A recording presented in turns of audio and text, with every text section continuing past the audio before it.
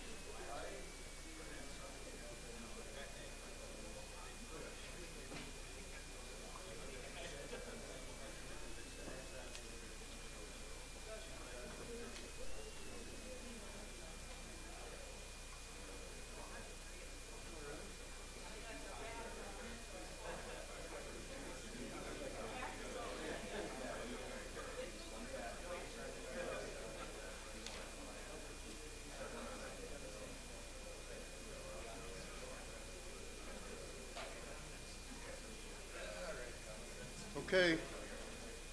Good morning, everybody. Welcome. Continuing on our, our theme of uh, Elbow Month at the University of Washington, we had uh, Dr. Sassoon's uh, case presentations about a month ago that were on the elbow, and then we had Dr. King, who was here uh, about a week ago for LaCoke. And uh, this morning we're going to talk about uh, terrible triad injuries with Dr. Beingessner, Dr. Hanel, and uh, Neil Tarabadkar. Uh, first, just a couple of uh, housekeeping things. Lots of uh, compliments for our residents uh, in the last month, and so I can't take the time to read all of these, but I will briefly uh, mention them. Eric Magnuson, Eric there? Eric, you received really remarkable kudos from the emergency room at Harborview for all the good work you've been doing there, so thank you. Uh, Kari Bringy uh, received similar compliments. Is Kari here? No. Kari received similar compliments from uh, for her work at Children's Hospital, taking care of kids.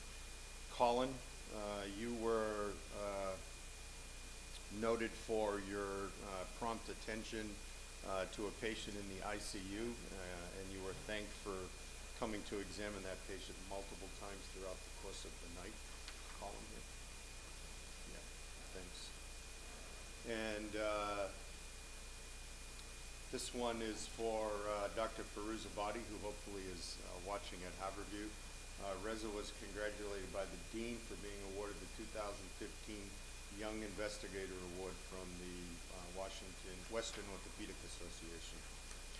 Uh, similarly, for Dr. Hanel, uh, who uh, some of the residents were with myself and Dr. Taitsman at the WSOA meeting when Doug was awarded the Lifetime Achievement Award. So he also has a letter from the dean and uh, at this, uh, also at the WOA meeting, the Western meeting, uh, Calvin is being congratulated for receiving a uh, resident uh, award for his project.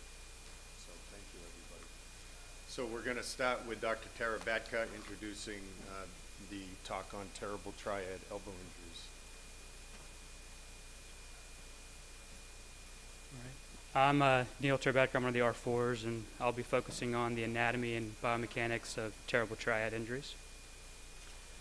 So the elbow is a unique joint in that it contains three distinct articulations. The ulnar trochlear joint, which is responsible for flexion and extension, and the radiocapitellar and proximal radioulnar joints, which are responsible for pronation and supination.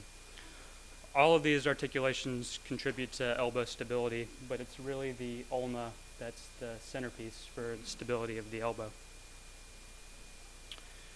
There are many different structures that contribute to uh, elbow stability, and they can be broken up into primary stabilizers and secondary stabilizers.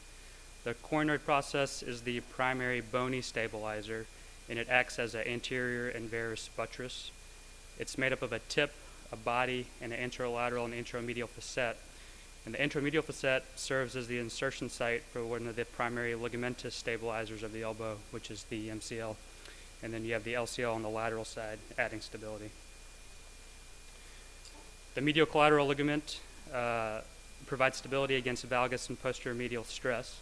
It can be broken up into three different bands, but it's really the anterior bundle that's the most important in terms of resisting valgus stress. The lateral collateral ligament uh, provides stability against varus and posterior lateral stresses. It can also be broken up into three different uh, bands, and it's the lateral ulnar collateral ligament that's the primary resistance to varus stress. The secondary stabilizers of the elbow become increasingly important when the primary uh, elbow stabilizers are damaged. The radial head acts as an anterior and valgus buttress, while the flexor and extensor mass origins prevent against valgus and varus stress, respectively. The other uh, muscles around the elbow act as dynamic stabilizers. So when we talk about elbow dislocations, you can break them up into two overarching categories, simple dislocations and complex elbow dislocations. Simple elbow dislocations are largely capsulo-ligamentous injuries, and the secondary stabilizers are usually intact and there's no associated fractures. So when these dislocations get reduced, they have an inherent stability and they don't generally need operative intervention to provide stability. Complex dislocations, on the other hand, are highly unstable and they tend to need operative intervention in order to provide that stability. Uh, there are three main types, transolecranon, Monteggia, and then terrible triads, which is what we'll be focusing on today, which again are elbow dislocations with associated coronoid and radial head fractures. So Hotchkiss coined the term terrible triad because of their historically poor outcomes. There's disruption of both their primary and secondary stabilizers. And historically, when these fractures were fixed, they had a tendency to go on to failure either for recurrent instability, and that's mainly because people didn't know what to fix. There wasn't a great idea of the uh, biomechanics of these injuries. Dr. Beingessner will touch on this a little bit later, but even with current fixation techniques, the, the surgical management's difficult because of small fragments. And even if they do go on to heal, uh, they have a high tendency to become stiff and to develop arthritis, which is what Dr. Hanel will touch on. I think this image uh, illustrates just how much energy occurs and how much damage occurs with these, uh, with terrible triads. Just to orient you, this is the lateral side, this is the humerus, lateral epicondyle, this is the forearm down here. And there's been uh, very little surgical dissection, and you can see that the uh, lateral collateral ligament and common extensor tendons have been completely avulsed. The arrowhead is pointing to a coronoid fracture that's sitting in the joint, and just beyond that, over here, is damage to the radial head. So early on, people realized that these fractures don't do well. Uh, in the 1920s, McWhorter uh, saw that these don't do well with non-operative management, and so he encouraged operative fixation and early motion. And then really it was in the 80s that we began making a lot of progress in understanding the actual biomechanics of these injuries. And Regan and Morrey, in their paper in 1980, uh, showed the importance of the coronoid to elbow stability and basically showed that the larger the coronoid fragment, the more unstable the elbow. Also in the 80s, Josefsson uh, looked at 24 patients who underwent operative management uh, for terrible triads, and they came to the conclusion that simple uh, dislocations do well and fracture dislocations do not. Dr. Beingessner will talk about some more encouraging literature, but even more recent literature shows just how difficult these fractures are to treat and how the outcomes aren't always great. And in a more recent paper by Ring, uh, they concluded that coronoid fractures uh, don't do as well. The mechanism of injury is a fall and outstretched hand, much like other injuries to the upper extremity, and it's a valgus, axial load, and supination forces that cause damage to the lateral collateral ligament and the rest of the characteristic fracture patterns. In terms of elbow dislocations in general, both simple and complex, the classic thought was that the forces begin on the lateral side and then transfer over to the medial side. So you'll almost always have involvement of your lateral collateral ligament. Uh, and then as the forces move anteriorly and posteriorly across the elbow, you get your associated coronoid fracture, associated radial head fracture, and then depending on how much energy is left, you can get involvement of your uh, MCL. There is some new literature that suggests that the forces may actually begin on the medial side for simple elbow dislocations.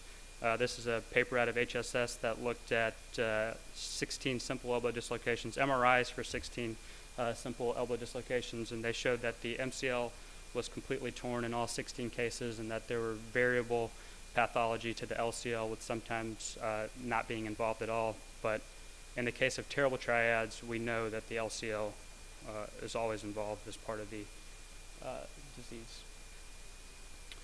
So the diagnostic workup, uh, besides you know physical exam and uh, routine workup, the you always get a closed reduction, and then X-rays and sometimes CT scan to help delineate the fracture fragments.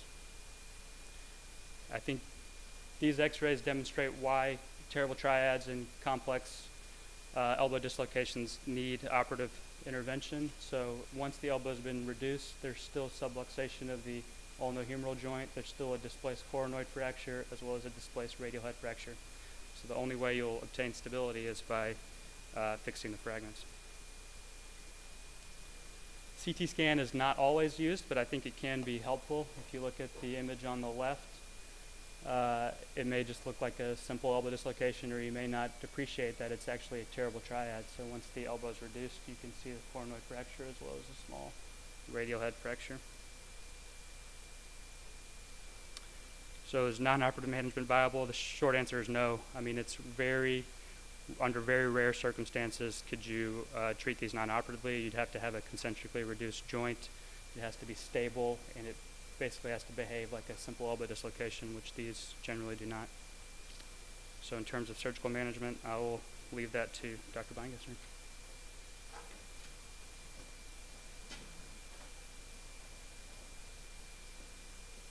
good morning. We're going to talk a little bit about how to manage a terrible triad operatively and how you kind of tackle these complex injuries. So the main thing that most people ask when they're figuring out how to fix a terrible triad is where do you start and what should be fixed first. And so most of the textbooks or literature will tell you to fix the damaged structure sequentially from deep to superficial. And that sounds straightforward, but how do you actually do that? Because there's a lot of stuff in the way, and so we'll just go through a good way to get at the terrible triad, especially getting at those deep structures. Typically, we like to fix these patients supine on an arm table, and you can use a posterior midline incision, and this is a good idea because sometimes you have to go around both the medial and lateral sides of the elbow. Most of the work is going to be done on the lateral side for the majority of these cases, but should you need to go over and look at the medial side, you can just simply lift up the medial skin flap and get over there as well. If you are supine to do that, just make sure the patient has good external rotation of their shoulders so that you can get medial if you need to. First thing you want to do is address the coronoid, but before you do that, you want to actually take a look at the radial head because it's going to be in your way. So you work through the lateral disrupted soft tissues, and then if the radial head is not going to be fixable, go ahead and make the radial neck cut and get all those pieces out of the way, and that gives you a really great view to the coronoid. If it is fixable, it's still possible to get to the coronoid. It's a little bit harder, but you just basically have to push those pieces out of the way and sometimes you can take advantage of the fact that the elbow is unstable, so you can actually dislocate the elbow and get another view around the front as needed. If you're going to move the radial head pieces out of the way, just be a little bit careful that you don't disrupt the periosteum around the edge, because that's going to be important for healing. So if you can just gently tuck those out of the way, you can usually get a pretty good view of the coronoid, and then still have fixable radial head pieces later. In order to fix the coronoid, there's a couple ways of doing it depending on the size of the fragment. So if it's a smaller piece, you can typically fix this with a suture, and you can see that in this illustration here. Here's the back of the ulna here, and here's the coronoid and the coronoid fracture right there. And you can see the sutures coming up through the back of the ulna, through the coronoid. You typically grab a little bit of the anterior capsule and then bring it back through the coronoid. And then as you pull these sutures tight, you can see that the coronoid piece reduces. And really not, you're not trying to actually get a structural fix to the coronoid that's going to give you stability. This little piece is not going to keep the elbow stable, but what is going to keep the elbow stable in this situation is pulling down this capsule. And that's really the whole point of fixing these smaller coronoid pieces. If you have a larger coronoid piece, which is a little bit less common, typically in terrible triads you're going to see a type 1 coronoid fracture, but if you do see a type 2 or 3, you can typically get at these with screws. And you can typically see around the front and hold this reduced with either a clamp or with a shoulder hook or a dental pick, and then get a screw in from posterior to anterior into that fragment. So after the coronoid has been addressed, next thing you want to do is replace or repair the radial head. Terrible triad injuries typically are associated with more comminuted fractures, and so you have to decide intraoperatively which type of fixation you're going to use. We do know that there's a high incidence of complications if you fix radial heads with more than three pieces, and that's just in general with fixing radial heads. And you have to remember again that the radial head is really important to stabilizing the elbow, and so in getting that lateral column stable will give you a lot of stability to a terrible triad injury. So you do not want to do tenuous fixation on the radial head. So if in doubt, replace. And I would say the majority of terrible triads that we fix, we end up replacing the radial head. We do know that open reduction internal fixation can work well, but this is typically, again, for the less comminuted fractures. So the Mason type 2 fractures um, tend to do better with that. And there's been some papers that show that those highly comminuted fractures really tend to do quite poorly with fixation. So again, always make sure the patient is prepared for radial head replacement. The other thing to remember is that the x-rays will often underestimate how comminuted the radial head is, and so you may look at the plain film and think that yes, I can fix this, and even a CT scan may look fixable. However, you have to always be prepared for a radial head replacement because sometimes when you actually look at the fragments, you realize that they're not as fixable as they appeared radiographically. So if you're going to fix them with screws, there's a couple of, lots of options actually. Uh, typically you like to get out smaller things like from a modular handset, so screws as small as one to five screws um, are helpful. Cannulated screws can be helpful as well. And you can place them right through the articular edge of the radial head as long as they're countersunk so that they don't interfere with forearm rotation. This is a really nice technique and I prefer this over plates, which I'll show next if you do need to do something that crosses the radial neck. Um, and this is a technique where you can fix the radial head and then put cross screws down uh, more distally into the radius. And this is nice because these are all countersunk and so you're unlikely to have impingement and rotation with this technique. So it's a nice low profile way to fix the radial head and it tends to work very well and is stable.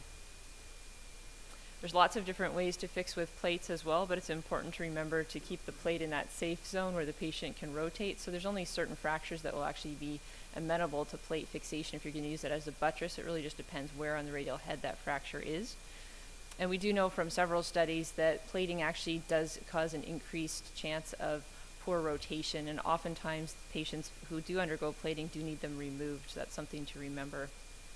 This was a study from JBJS showing a really nice plating technique, and they had excellent results. However, reading the fine print, most of these patients required a repeat trip to the operating room for hardware removal and probably some type of release um, for elbow rotation, so just something to keep in mind. So if the radial head's not fixable, which is again true in the majority of cases, then you're looking at doing a radial head implant. There's tons of options for radial head implants, and I think that the bottom line is to just have one that you're comfortable with and that works well in your hands. There's not one right or wrong. There's lots of different design philosophies for radial heads, but again, using one that you're comfortable with and works well in your practice is appropriate. We typically like to use a modular type of implant so that you can size the stem and the radial head separately and get a good fit for the patient. And it's important to note that a bipolar prosthesis in the setting of elbow instability is not appropriate.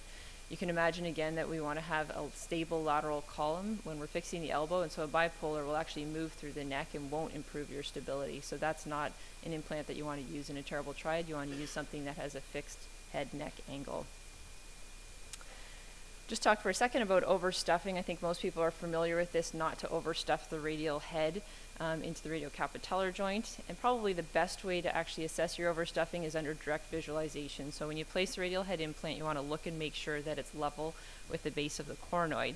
Radiographically, you want to make sure that this medial side of the elbow is reduced Many patients have widening over here on the lateral side. That's a normal finding. So again, if you're unsure, take an x-ray of the other side and make sure that it looks the same. But again, you're really just looking for the symmetry.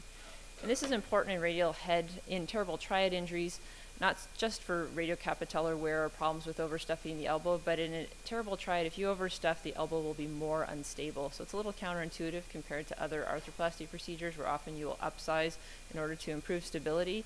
In the elbow, if you actually oversize the radial head and have it too wide, your elbow will be more unstable. So you're better to keep the radial head a little bit on the smaller side than on the larger side.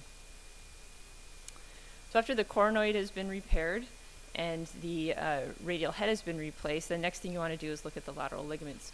And one note on the coronoid before I continue, you want to make sure also if you're fixing a type 1 coronoid with sutures that you don't tie those sutures down until you're tying down the lateral side because you're going to be doing a lot of manipulating when you're fixing the radial head. And the last thing you want to have happen is tear out those coronoid sutures right as you're actually about to put your radial head prosthesis in or after it's in because it's really hard to back up a step. So just remember, leave those coronoid sutures, pull them down, make sure they reduce, and then just let them sit, tie them down at the end.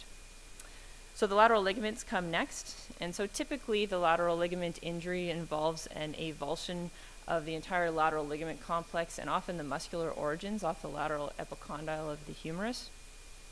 These are typically acutely repairable lesions and even up to a few weeks um, out from injury, these are definitely repairable. It often comes off as a big sleeve, and you can typically utilize that surgical, uh, sorry, that defect for your surgical approach to see the deeper structures, but it's typically a big sleeve that you can pull up, and the important part is to make sure that you pull it up to the right spot and get it tensioned appropriately.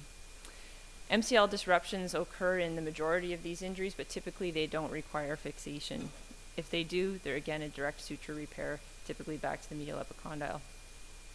So this is typical what a lateral sided injury would look like where the epicondyle has no soft tissue on it.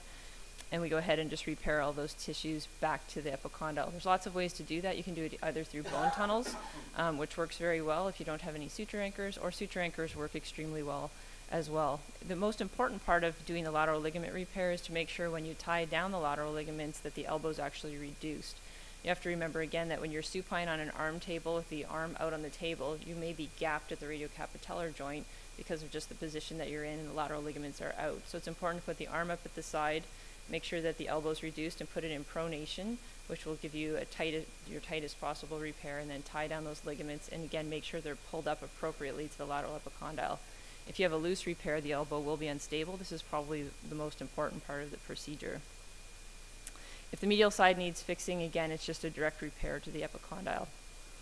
At this point in the procedure, 99.9% of the time you're going to be finished. So this is typically all you need to do for a terrible triad. And you want to assess the range of motion, and you want the elbow stable before you leave the operating room. What I typically like to do is make sure I use, let the patient's um, arm kind of go passively with me just holding on with a finger to the hand and letting the arm go through a range of motion because it'll dislocate on its own. If I'm holding it, I'm going to hold it in joint and bring it through a range and convince myself that it's stable. It's easy to do that, but you don't want to do that. You want to make sure that you know that this elbow is stable before you leave the operating room. So as I say, I just put one finger on it and let it go through its own range of motion. If it clicks or clunks or looks unstable, we check under under X-ray and see what's going on. And typically, if there is a problem with that, it's because your lateral ligament repair is insufficient and hasn't been tight enough.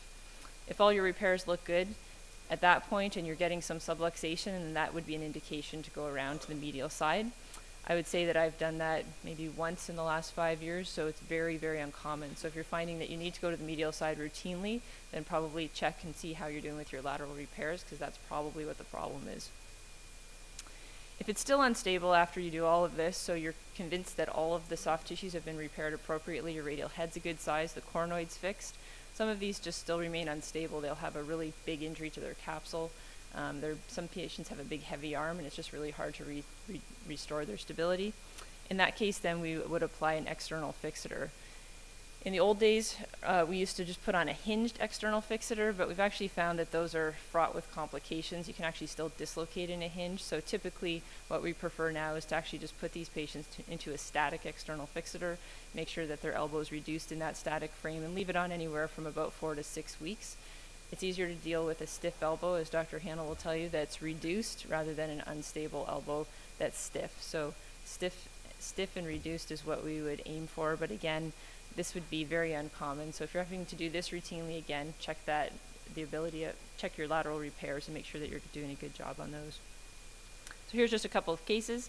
So this was a young boy who had a dislocation that was reduced at the outside, and he actually showed up with his with his elbow kind of reduced, but it still is a little bit subluxed. And you can see this was us stressing him in the operating room, and so he has a coronoid fracture and a radial head fracture that was actually repairable. And so we went ahead first and pushed his radial head fragments out of the way, and were able to reduce his coronoid and hold it with some screws. And then we went ahead and fixed his radial head, and then fixed his lateral ligaments. You can see on the image, on the AP image, he's perfectly out straight. So that's an image out straight in supination and he's stable. So we know that this elbow is stable. So that's the next case. This is a case of actually a surgeon who presented after falling while rock climbing. She has a little bit more of a comminuted fracture. But again, once we actually started looking at this, we realized that the radial head fracture was in a spot that was amenable to plate fixation for the safe zone and that we could get good fixation. So this shows really nicely what a typical terrible triad will look like. You can see that there's no soft tissue here attached to the lateral epicondyle. There should be soft tissue attached all the way down to this level. So all of those tissues have been torn off and they're sitting up here. So this is where all the lateral ligaments and muscular origins are sitting in this patient. You can see that we have a reduction of the radial head, which will subsequently plate. And here's the coronoid sutures. So they're not tied down, but they're actually placed.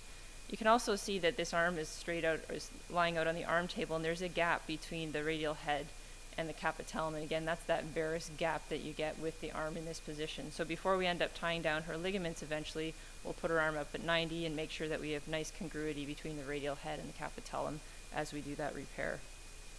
And so here's what she looks like after fixation. And again, the plate's in the safe zone. When we're finished, we make sure that she has full rotation and nothing's impinging. And you can see we also have checked that she's stable out in full extension as well.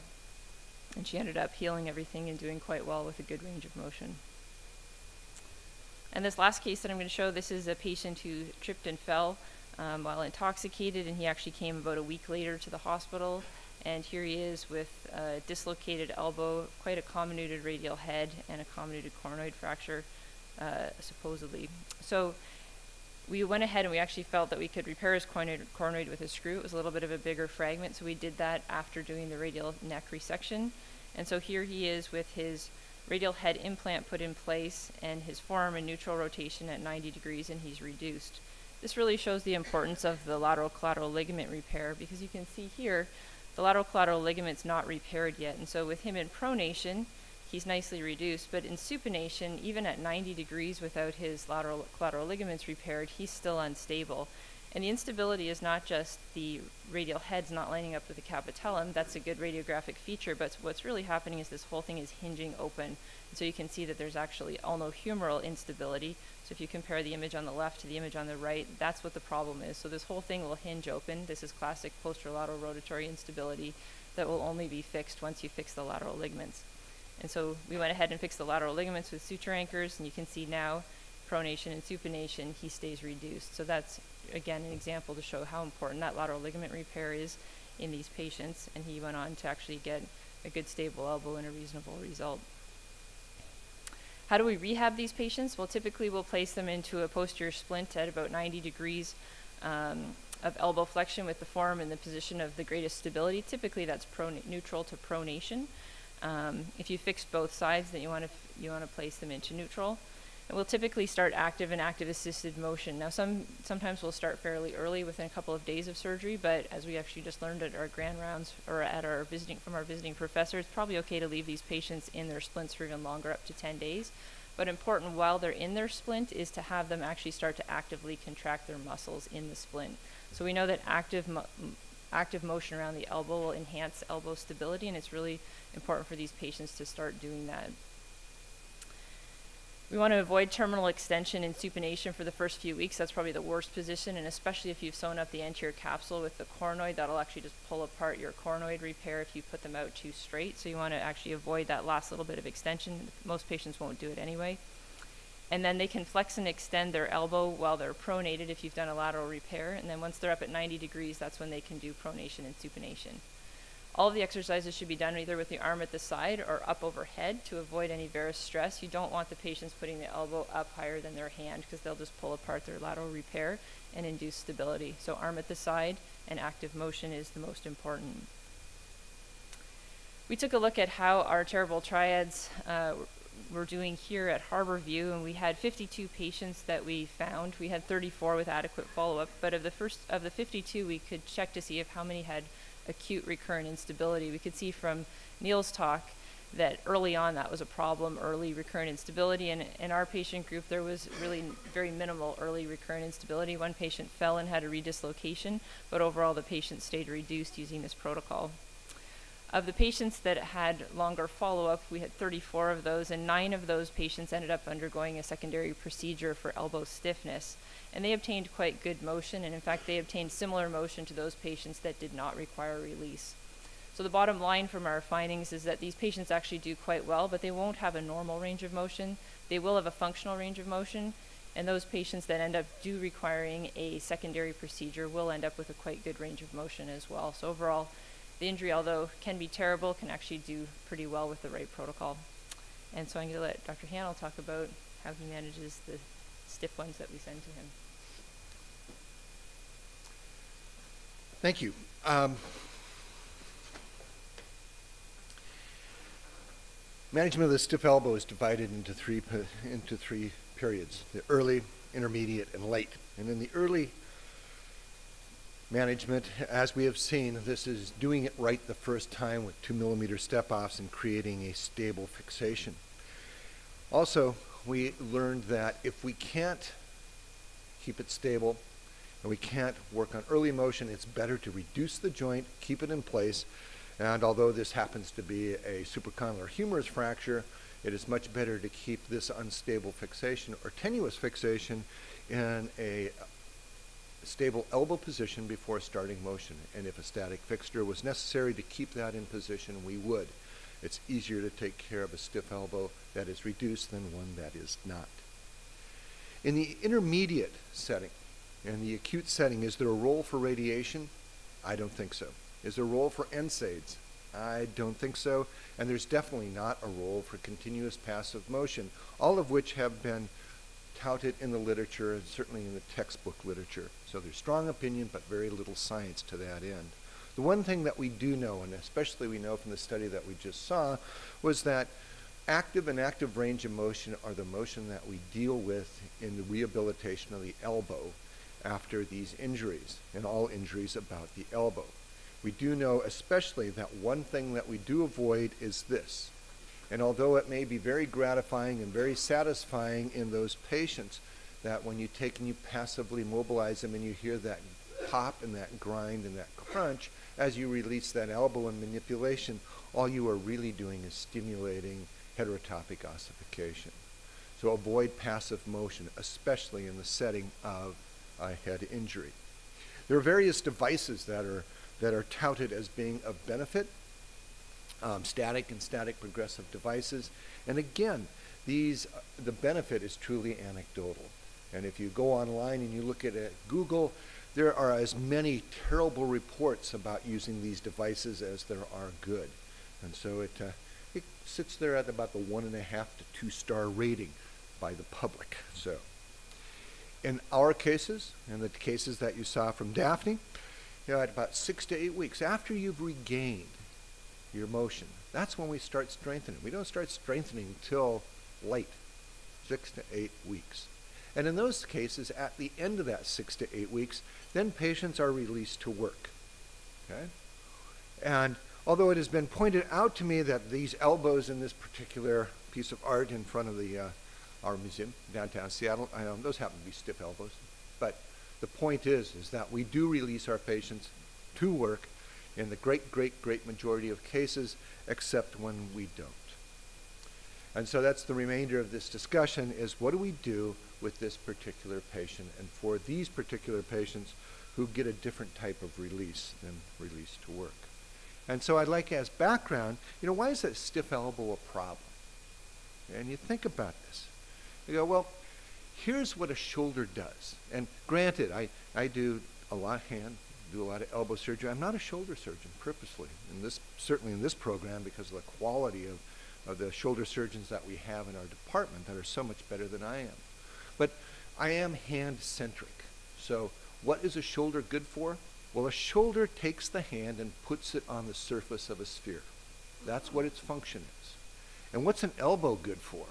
Well, an elbow takes and places the hand within the volume of a sphere. So if I fuse an elbow, or I mean, if I fuse a shoulder and have a stiff shoulder, what's that do? Well, that decreases the volume of the sphere. And these are illustrations that are from Bernie Morrey and Rich Berger at the Mayo Clinic. What happens when I have a stiff elbow? Well, that destroys motion within that. So if I have a stiff elbow at 80 degrees, I have less than 10% of the volume touched by that hand that I did when I didn't have a stiff elbow. And similarly so. I get to choose which 10% I want if I have a stiff elbow or an ankylosed elbow. Or if I choose to fuse somebody's elbows, which 10% do you want? Do you want it out here or do you want it here?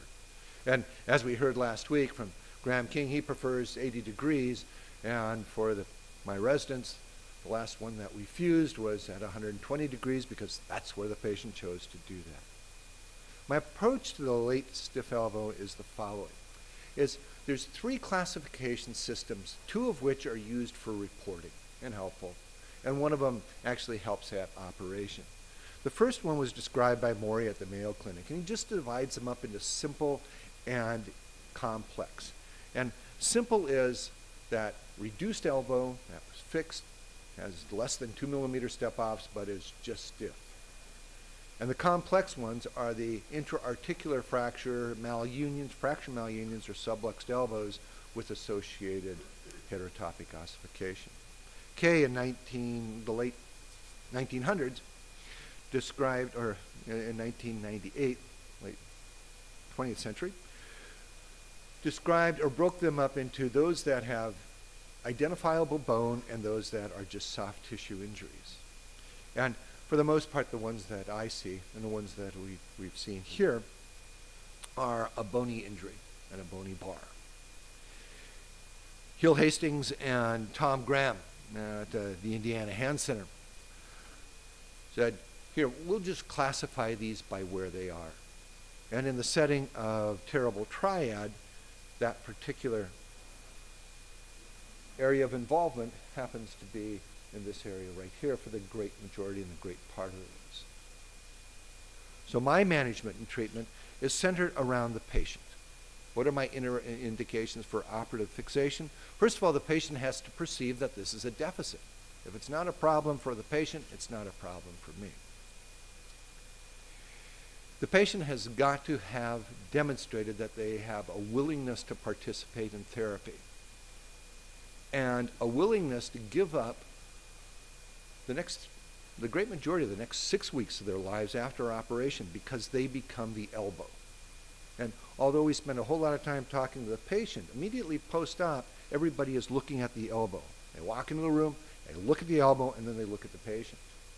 You know, the best physicians, and for me, best physicians are, you look at Rick Matsen, comes in, looks at the patient, then looks at the shoulder in that order. You know, I'm not that good. I usually look straight at the elbow and then at the patient and acknowledge that I'm not that good. But I think the point is, is that the patient has to be willing to really give their effort to do this, or you're going to end up with a worse or more stiff elbow, or at the very, the very least, the same that you started preoperatively. The preoperative evaluation becomes documentation of real range of motion. And how well do you do that and how you do that, as long as you do it consistently, you'll be able to help your patient. The neurologic evaluation is particularly important, especially the ulnar nerve, because if you're releasing flexion extension elbow deficits and you don't release the ulnar nerve, you're going to have a very painful patient. And in some patients, they will refuse to move their elbow after release because of the elbow, because of the ulnar nerve that is trapped or scarred down at the elbow. Plain radiographs will reveal most everything that we need to know about this, but if there's involvement in the proximal radioulnar joint, I routinely will get a CT scan to judge where I have to go and where I have to be in order to release this particular elbow. The timing of surgery is when the fracture is stable and when the patient is ready.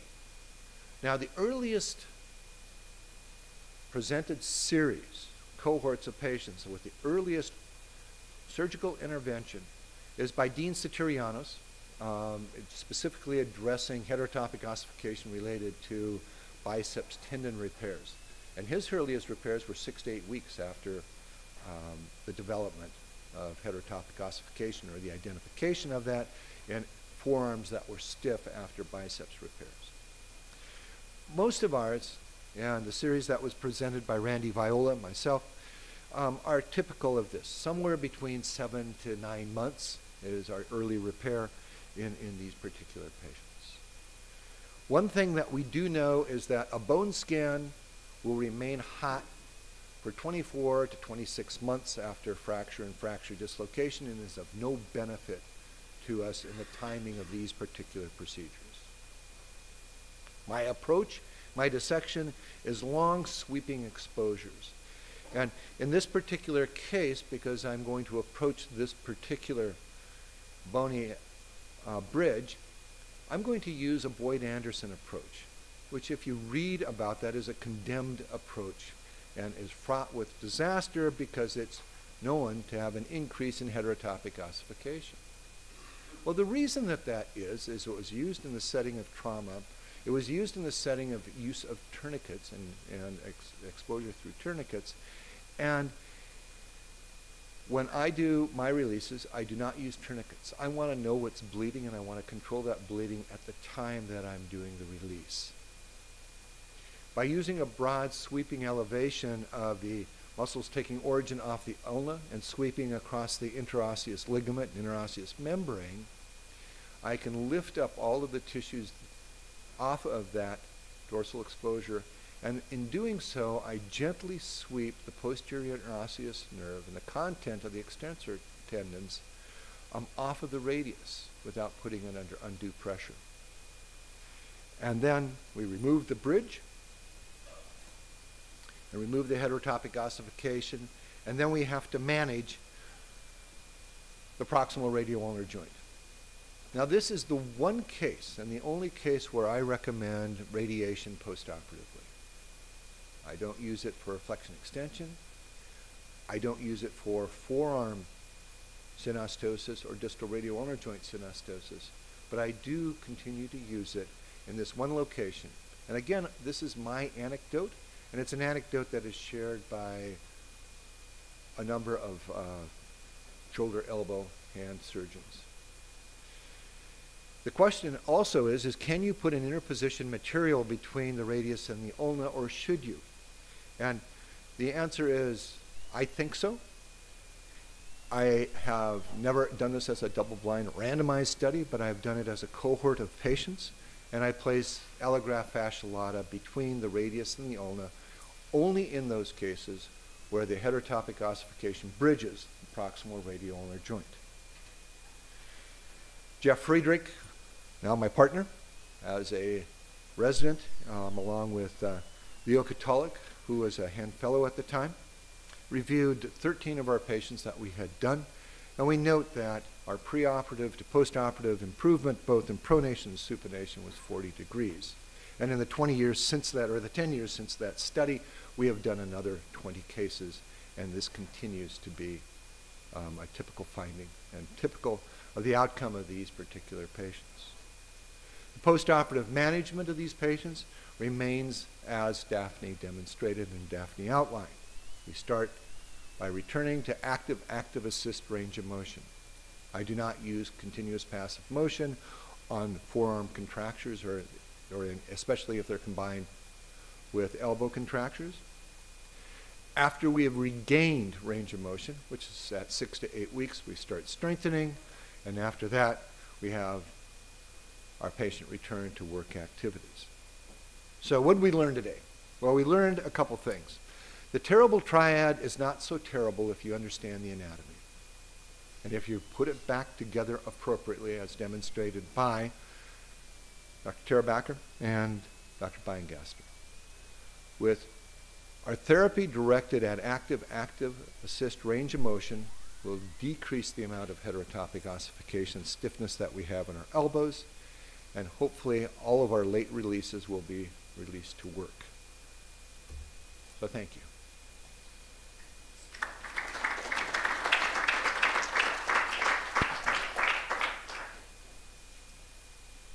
questions? I got one. So, uh, this is for Daphne. Um, so I, I seem to get not, uh, the terrible triad, but, uh, more commonly, or at least it feels like it, without being overly melodramatic, it's the, uh, diabolical dyad, uh, which, uh, is the same thing minus a C-type radial head fracture. It's either a small B or not much of anything, and it just, and it's in a muscular guy. Uh, and, and I can't see very well to get over to the coronoid. And as I'm doing it, I struggle to do it, and I just feel like I'm not in the club, I don't know the tricks to, to make this happen, and it just seems like, uh, a, a, a goat rope every time I do it. Well, you know, I, I have to say every time I do one of these and I see that the radial head's fixable, I, I'm disappointed because because it's hard. And so right, right away I was like, "Are you sure you can fix this?" Oh, yeah, I can fix this one. So I think probably the key to that is getting enough exposure across the front. So oftentimes when they're fixable, sometimes the anterior capsule is still a little bit intact, and I tend to actually just lift all of that off the front. So I- Off, off the yeah, so I actually may make the elbow a little bit more unstable than when I found it in order to actually get around the front because I know I can repair all that stuff at the end. And then just sort of knowing in your head that this is going to be a pain, a pain to fix that coronoid. And oftentimes, what I'll do in those ones, especially if they're fairly acute, is actually dislocate the elbow, do all the preparation of the coronoid base part with the elbow dislocated, because you can actually get a pretty good view of it behind there, and then reduce it, pull that anterior capsule forward, and then struggle a little bit to get that stitch up there. But typically, you can do it um, and pull it back. So it's doable, but it's difficult. But it's just a matter of being patient and maybe taking down a bit more soft tissue. That's at least reassuring. Yes. So Daphne, I have a question for you. In the cases that you presented, we didn't see any CT scans. Is there a role of CT scan in the evaluation of elbow fractures and fracture dislocation? So I think that there probably is. Um, typically for terrible triads, for me, I if I know I'm going to be operating on these, I'm going to have a pretty good view around the whole elbow. I typically don't find the CT scans all that useful, um, just because they typically are done out of plane and you can't really get a lot more information than you're going to get. But there's certainly patterns that if they don't appear to be like a typical terrible triad, or if you're concerned that you have a medial coronoid type of fracture, or there's something more going on, then I think there definitely is a role for a CT scan. And like Dr. King said when he was here visiting us, if you're sort of early on in your practice and you're really a little bit unsure about what's going on around the elbow in a fracture dislocation, certainly a CT scan can be helpful, but you have to make sure that the CT techs actually get them in the right plane. Because if you look through a lot of elbow CTs, they're completely useless because you don't quite have the right plane, and so they don't give you information that's useful. So I think CT scans do have a role. Probably some 3D CT scans will actually help you as well figure out what's going on. But typically for the, so your standard terrible triad that you know you're going to be looking at the whole thing, it doesn't add a whole lot to the treatment. So that, that very last phrase attests to the experience that Dr. Beingessner has, you know, for your typical terrible triad.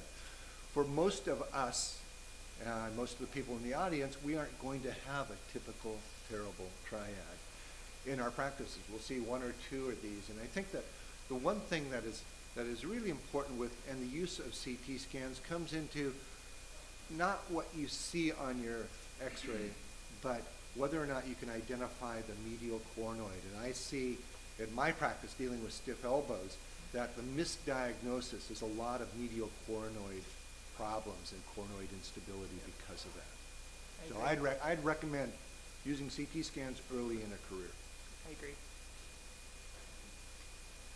Another one. Yeah. Like this for you, Doug. Yes. You dispelled our, our long-held notions regarding radiation, NSAIDs. Mel Rosenwasser has talked about using Botox uh, anteriorly to relax against spasm to help facilitate motion. Um, uh, What's your take on that? You know, uh, and I, I'm aware of that. Um, I don't know. And I really don't know that. I think it's very, very difficult to find the endpoints. To just inject Botox into biceps is a tough thing to do. And so, even in the best of hands, that's, that seems to be difficult. Um, I, and so I have, I know his experience. I believe everything he says. I just can't repeat it, or haven't. Jerry? Can you, can you use the mic just for a second? So, um, first off, great presentations. Uh, we talked about how rare it is to have to go medial for any medial repair or uh, reconstruction.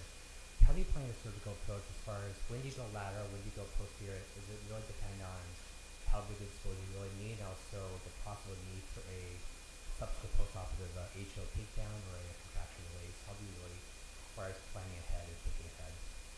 So for me, I tend to approach almost every elbow through a posterior midline incision. So I go posteriorly, I curve a little bit laterally, um, and typically I'm the traumatic rent is really right near Kocher's interval, so it is already fairly posterior. And I think um, for me, then I know that if I have to go medial, that I can just lift that flap up and go on the other side. I think some of the problem with going with a straight lateral incision, as you know, is you're actually probably too anterior to where all of the actual damaged structures are. And I think that's probably why some of these have recurrent instability in people that don't fix very many of them, because you're actually going to miss the majority of that injury if you're way too around the front. You won't actually appreciate how much stuff is torn off um, from the epicondyle and posteriorly. So for me, almost every elbow gets a posterior midline approach. I very rarely do separate medial and lateral approaches. And in fact, I can't think of the last one unless it's been something like a traumatic wound or something like that that I'm working through. And I think that that probably helps Doug when I send these to him because he can basically go back through my posterior midline incision, I think. Yeah, I, for me, I use the incision that I'm given. But if I need to go medial and lateral, that means that if it happens to start as a lateral incision, I may just go straight posterior medial and leave the lateral, the old lateral incision in place. But if I, I, um, I, unless it's really, really a simple release, I won't do independent medial and lateral incisions, although that has become increasingly popular with some of those surgeons that lecture on stiff elbows uh, throughout the country. Um, in raising the flaps that we do, it's argued that you have a higher incidence of seromas. Um, I drain my wounds. I do tack down my subQ to uh, the muscular investing fascia, and the the development of um, troublesome seromas has been very, very limited. So that's the expo- that's the exposure I use. Thanks. Anything else? Dr. Worm.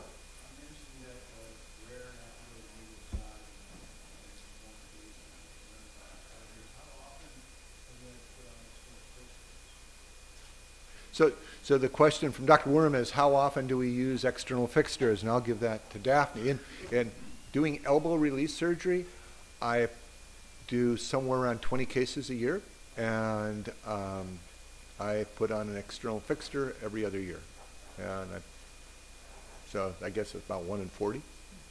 How about you, Jen? Yeah, for us, um, for terrible triads, I it's pretty rare to have to put on an external fixator. It's probably about the same frequency as the MCL repair. Quite frankly, for me, the, the more unstable elbows that need an X fix in my practice are the actual simple dislocations. We get a lot sort of like from blast injuries or those types of things that are really, really unstable. And so in my practice, those actually are more likely to go into an external fixator than a terrible triad where I've actually fixed most of the structures. So pretty uncommon to have to put them in. I, again, probably I've put an X-Fix on a terrible triad once again in the last few years. A simple elbow dislocation I've probably done once every two years or so. We need to put one in. Um, but those actually, as they say, tend to be a little bit worse than the terrible triads. Yep.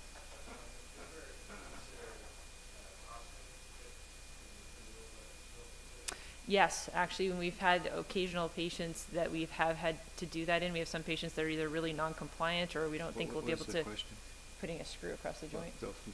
Oh, sorry, putting a screw across the joint was the question. Um, yes, so sometimes we do have to do that again in sort of more non-compliant patients that we don't think can handle an external fixator, or patients that have come back with late recurrent instability that we don't think are good candidates for uh, reconstructions. They may get a cross screw just to get stiff. And again, that's uncommon, but again, maybe about once a year or so, we probably do something like that. Actually use a bigger screw, so I use a four or five shaft screw, so because the shaft screw has a thicker area that's less likely to break. And the most important part of putting those in is to make sure that the tip of the screw, the end of it, is actually through the back cortex, just in case it breaks, because then it's easier to get it out. Thank you. I, I'd like to compliment Neil on a, a very precise and very succinct discussion of anatomy. And for the residents that are doing later grand rounds, use this as a role model. This is a great way to present anatomy and to present a problem. So thank you, Neil.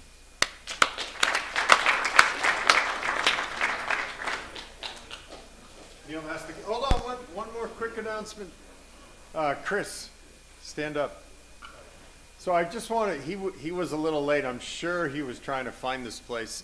So uh, Chris Kweon is our new surgeon at the U that's going to be joining uh, Trey and, and Albert uh, in our sports program, and we're very excited to have him. Chris started on Monday, and some people have known him for a long time as an undergraduate. He was actually working in the sports medicine clinic, so he goes back a long ways, and everybody knows him and loves him who has worked with him. So welcome. We're really excited.